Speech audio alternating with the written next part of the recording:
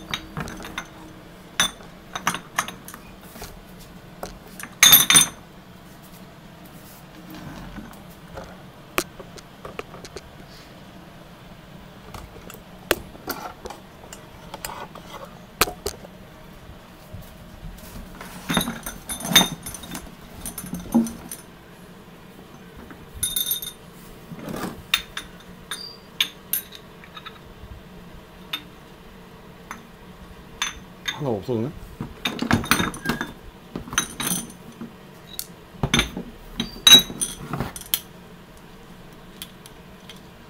걸렸구나 얘는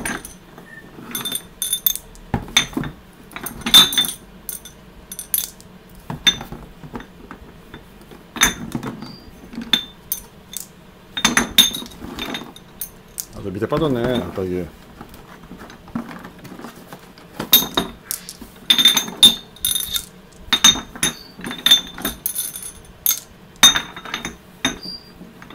마지막 민호였군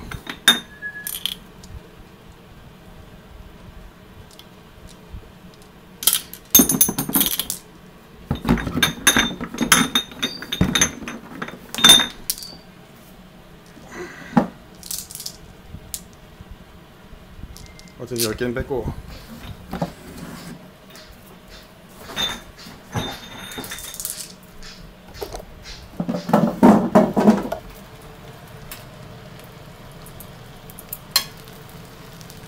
Eso es